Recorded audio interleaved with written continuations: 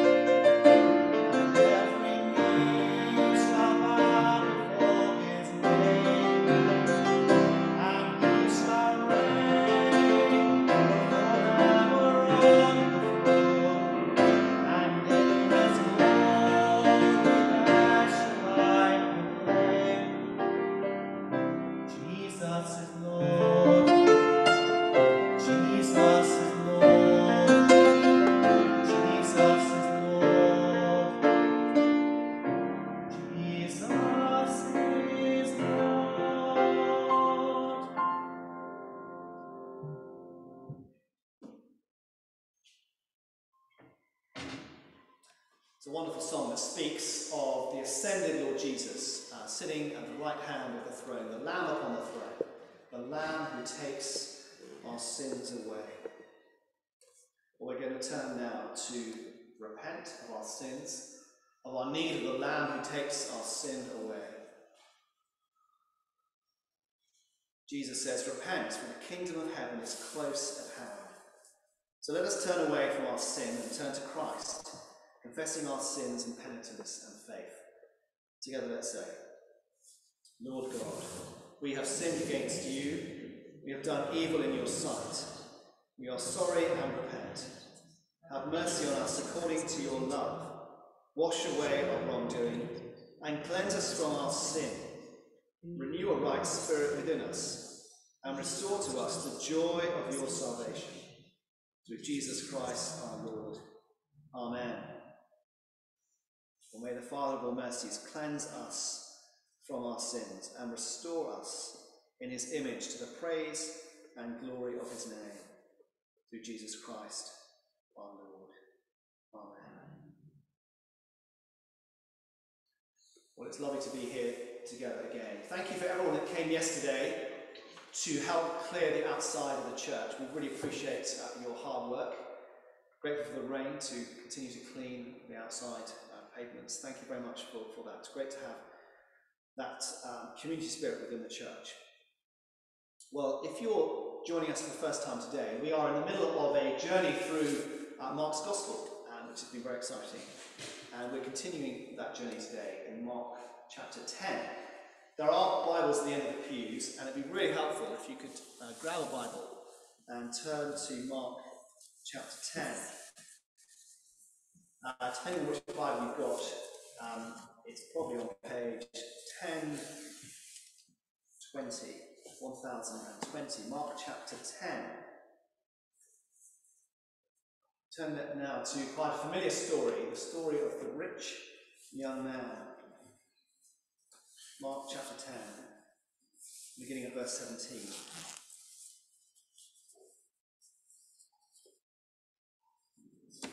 And as he, that is Jesus, was setting out on his journey, a man ran up and knelt before him and asked, Good teacher, what must I do to inherit eternal life?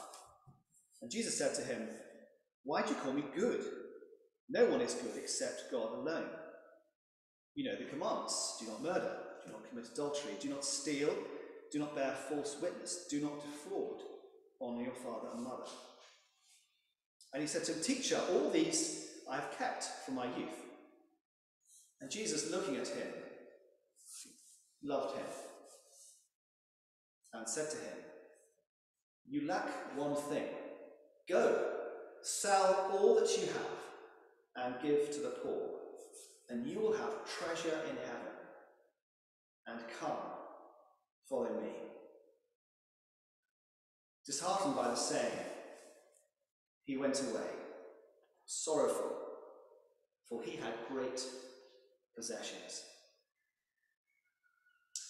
And Jesus looked around and said to his disciples, How difficult it will be for those who have wealth to enter the kingdom of God. And the disciples were amazed at his words. But Jesus said to them again, Children, how difficult it is to enter the kingdom of God. It is easier for a camel to go through the eye of a needle than for a rich person to enter the kingdom of God. And they were exceedingly astonished and said to him, Then who can be saved? Jesus looked at them and said, With man it is impossible, but not with God, for all things are possible with God. Peter began to say to him, See, we have left everything and followed you. Jesus said, Truly I say to you, there is no one who has left house, or brothers, or sisters, or mother, or father, or children, or lands, for my sake and for the gospel, who will not receive a hundredfold now in this time houses and brothers and sisters and mothers and children and lands with persecutions, and in the age to come, eternal life. But many who are first will be last, and the last first. Let's pray as we sit.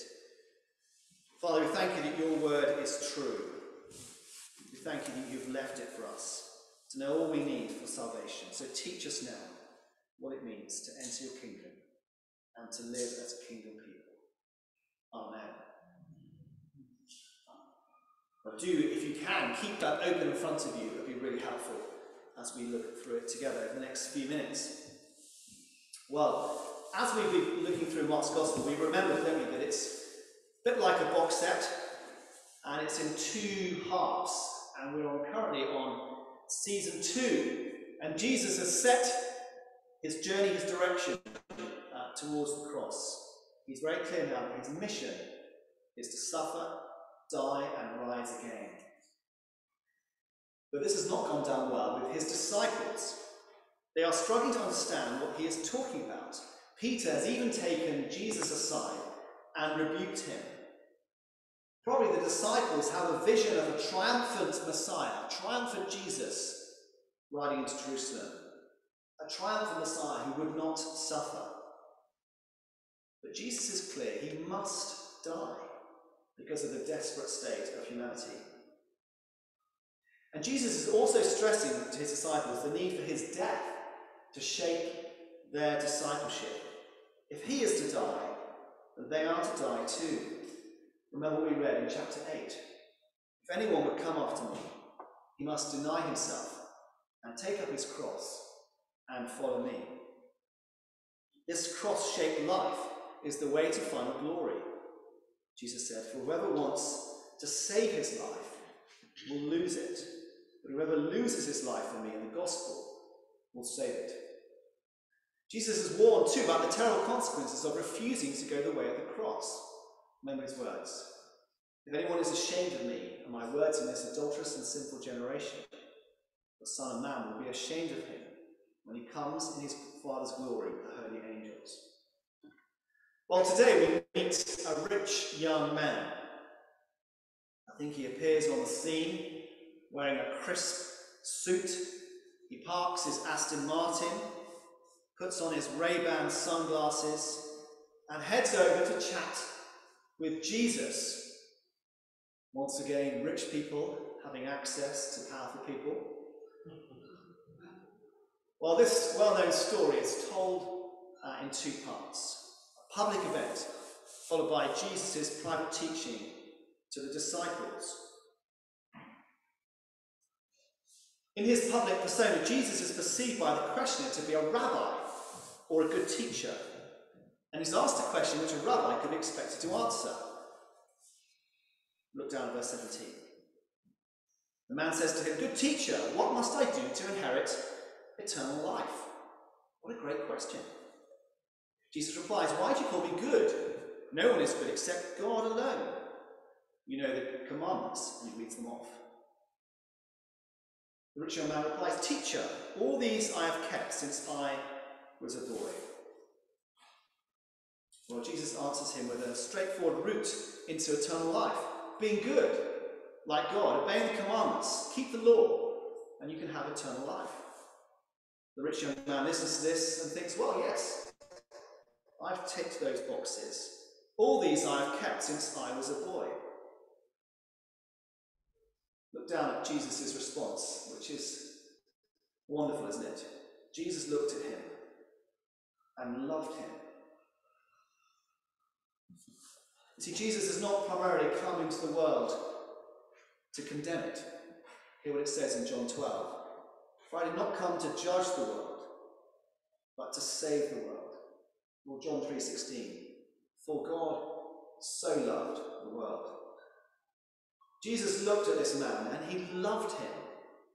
Even though Jesus could see beyond the outward appearance of obedience to the reality of the inner man. Jesus could see his heart, and yet his instinct was still to love him. How amazing is that? And that is true for us too, isn't it? Jesus looks at you, warts and all, and still loves you just as you are. Jesus seeing into the rich man's heart diagnoses his moral sickness in a second he had made an idol of money. And he had in fact broken one of those commandments that he thought he was keeping, the second commandment, despite his protestation that he had faithfully obeyed the commandment since he was in short trousers. Hear what it says, the second commandment. You shall not make for yourself an idol in the form of anything in heaven above, or on the earth beneath, or in the waters below. While the reaction from the man was instant. Jesus was completely spot on with his diagnosis. Look at the sadness of verse 22. At this, the young man's face fell. He went away sad because he had great wealth. Well, the theme now turns to Jesus reflecting on what's happened with his disciples. His disciples were astounded at what they had seen. They say to themselves, How hard it is for the rich to enter the kingdom of God. In the eyes of the disciples, wealth was associated with prosperity and being in God's favour. So, how could it suddenly be a barrier to entering the kingdom? Surely, if anyone could enter the kingdom, it would be this law abiding, successful young man. What's not to like about him? But Jesus says it will be easier for a camel to go through the eye of a needle than for a rich man to enter the kingdom of God. This man's life was his wealth, it was his status, his security, his pleasure, his comfort, and too high a price to lose. He goes away sad. Despite all his worldly riches, joy had evaded him. And the one thing he longed for, certainty of life beyond the grave, well, for us, nominal Christianity is an easy trap, isn't it? Just giving token time in church for an hour on a Sunday, or a coin in the collection plate. It's easy to sing the lovely hymn, Take my life and let it be, consecrated, Lord, to thee. That verse 4 is tricky, isn't it? Take my silver and my gold, not a mite would I withhold. We must remember it's not that money is the root of all evil, rather, it is the love. Wealthy and generous Christians can be a great blessing to the church. I'm sure our church accountant would agree with that. 1 Timothy 6 says this Command those who are rich in this present world not to be arrogant, nor to put their hope in wealth, which is so uncertain, but to put their hope in God. Command them to be rich in good deed and to be generous and willing to share. Yes, we need wealthy, generous Christians. But living for Jesus will inevitably be costly if we're prepared to lose our lives for Him. Well, the disciples are perplexed, aren't they? They say, Who then can be saved? Look at verse 27. Jesus says, With man this is impossible, but not with God. All things are possible with God. Jesus wants us to know that simple obedience to the law, attempting to obey the Ten Commandments, to live a good life, will never get us over the line of the standard required to receive eternal life. Only one man has led and lived the good life. That was the Son of Man, Jesus. You see, it's not just difficult for a man to enter the kingdom, into the kingdom, it's impossible like that camel trying to get through the eye of an eagle. For that to happen, a miracle is required. The only way someone can enter the kingdom of God is through a divine miracle. Verse 27 All things, though, are possible with God. And looking back over the previous chapters of Mark's Gospel, his miracles have pointed to that need. Remember the blind man at Bethsaida, whom Jesus healed with a spit of his, on his hands, giving sight to the blind. But not just about understanding Jesus. Here, Jesus is speaking of something far greater, about entry into the kingdom itself. Jesus is preparing us to understand the necessity of the cross, where God makes possible the impossible. Hear what Paul wrote to the Ephesians. But because of his great love for us, God, who is rich in mercy, made us alive with Christ, even when we were dead in transgressions. It is by grace you have been saved. Well, as we finish, the rich young man should remind us of two truths. Firstly, that entry into the kingdom is impossible in our own strength. Even if you have all that the world can offer you in terms of success and wealth, eternal life will still elude you. You need the miracle of the cross. And secondly, it reminds us of the correct experience of discipleship. What does it mean to live as a Christian? We must deny ourselves and take up the cross. Well, it's unlikely in our culture that you'll be asked to martyr yourself literally in obedience to Christ. Rather, we are to be living sacrifices, aren't we? Remember Romans 12. Therefore, I, urge you, brothers, in view of God's mercy, to offer your bodies as living sacrifices. This is your spiritual act of worship.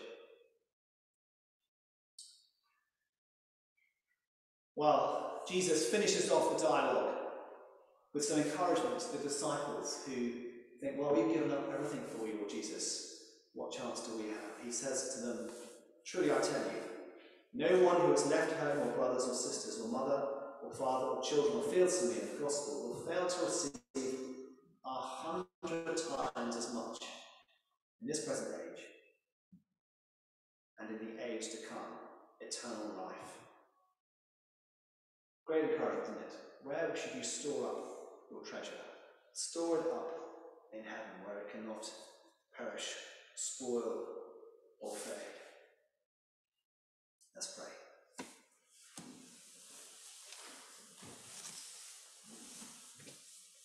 Father, we thank you for what this teaches us. We thank you for the love that the Lord Jesus had for that rich young man. Despite his heart um, that was selfish. We thank you, Lord, for the love that you have for each one of us. We thank you that you have made the impossible possible through your death on the cross. That Jesus has opened the way back to heaven. That despite our hearts, we can know eternal life with Lord Jesus. So pray, Lord, now, as we live for him, we will be prepared to put our trust in Jesus, our focus on heaven, and to build treasure in heaven for his glory. Amen.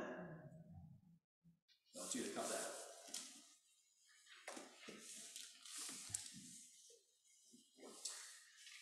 We have, we have an opportunity to encourage one, um, one another now in the words of the Creed, an opportunity to uh, stretch our legs as well.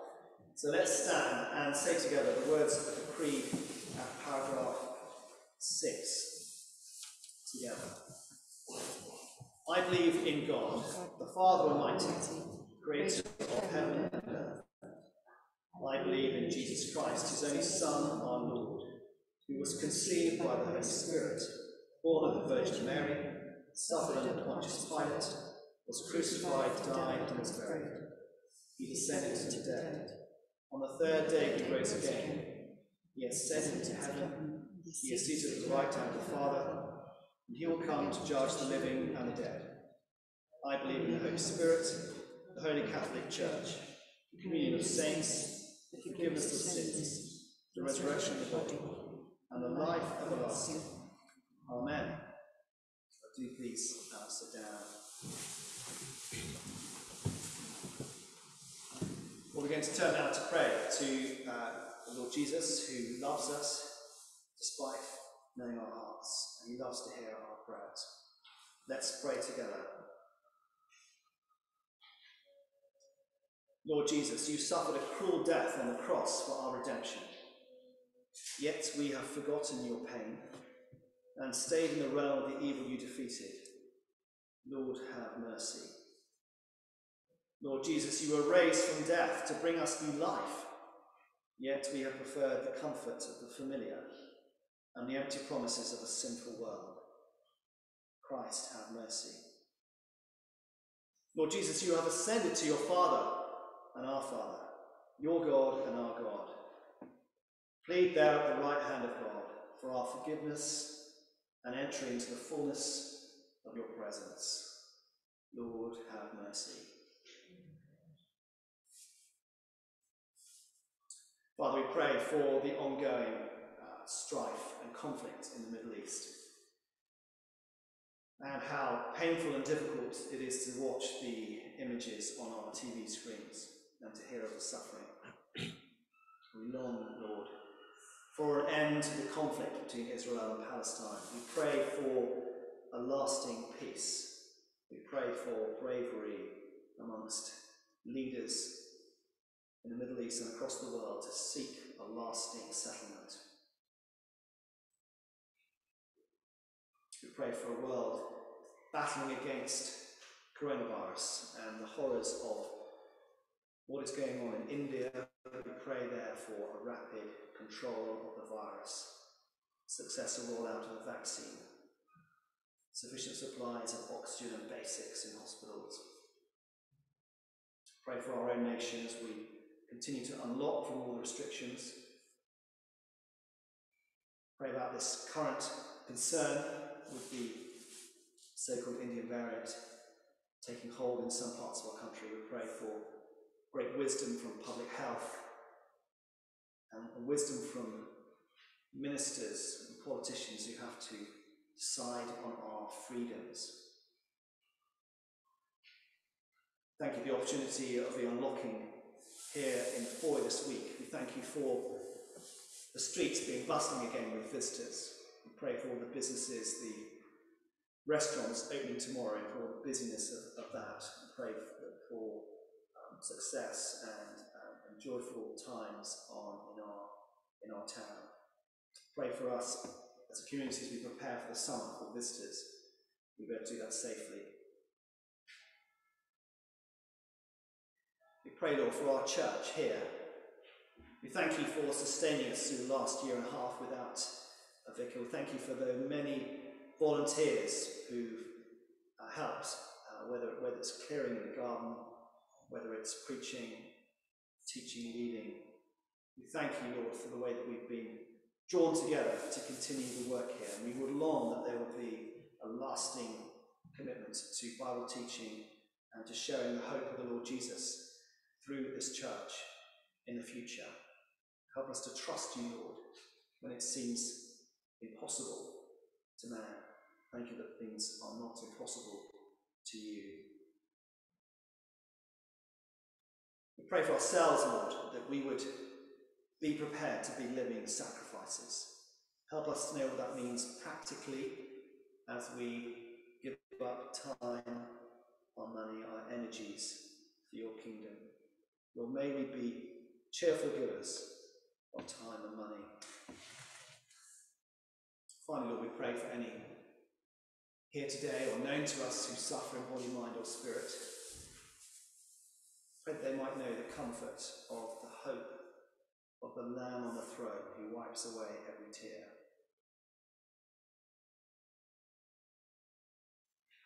Thank you that we can pray in confidence through the Lord Jesus Christ. Amen. Well, let's pray together the prayer that the Lord Jesus himself taught us, the Lord's Prayer together. Our Father in heaven, hallowed be your name, your kingdom come, your will be done, on earth as in heaven. Give us today our daily bread, forgive us our sins, as we forgive those who sin against us. Lead us not into temptation, but deliver us from evil For the kingdom, the power, and the glory are yours, now and forever. Amen. I'm going to sing a final song now, and it is that song that I alluded to in the talk. Um, Take my life and let it be. and it's to an alternative tune which you have to be kind about because I wrote it.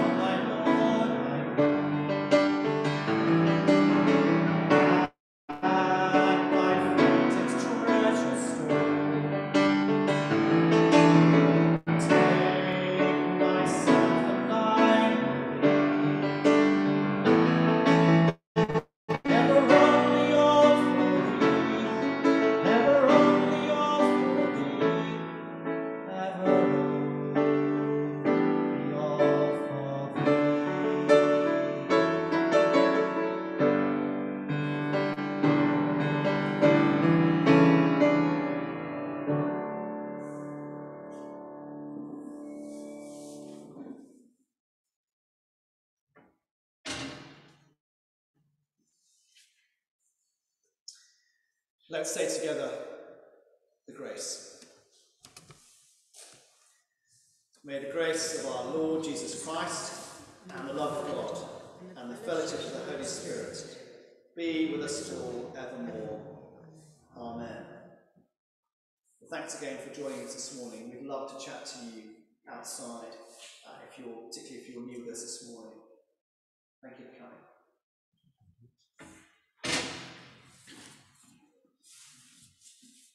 Música